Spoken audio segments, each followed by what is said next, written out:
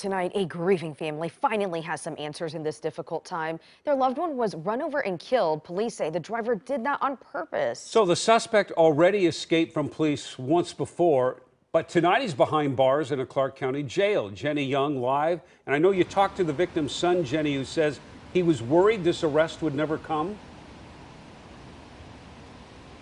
That's right, Jeff. He was worried about that. He lives in California, but he said he never stopped trying to track this suspect. He says, with the help of social media and people in Vancouver, uh, he was getting tips about the possible whereabouts about this suspect and passing those along to police my dad loved his kids. He took care of my grandmother in Washington, that's 94 years old, and a lot of people cared about him. 34 days ago, Rob Hicks received a call from his sister he'll never forget. And she said, Dad's gone. I said, What do you mean? She said, Dad was killed this morning. On April 22nd, Rob's father, Larry Hicks, was run over on his Kawasaki motorcycle in the parking lot of Sea Mar Clinic in Vancouver. Larry was taken to a hospital but didn't survive. Investigators say his death was a murder carried out by 33 year old Corey Schinkel. Rob tells us he watched a video of the gruesome moments recorded by a witness. And I had to watch it.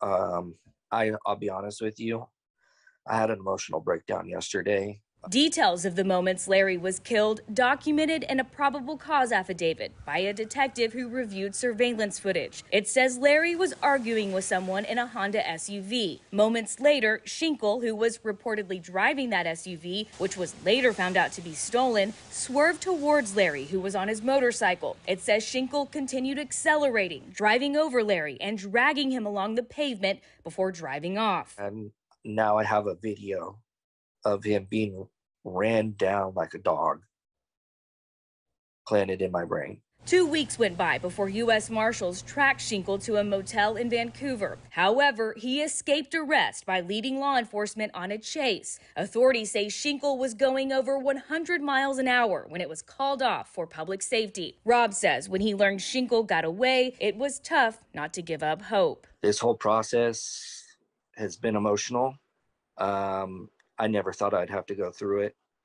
And here I am. Schinkel was finally arrested two days ago after marshals received information that he was riding a bicycle in southeast Vancouver. VPD caught up with him and took him into custody. Police say Schinkel admitted to running over Larry, but didn't think he killed him. Me personally, I I want to see him spend the rest of his life in prison.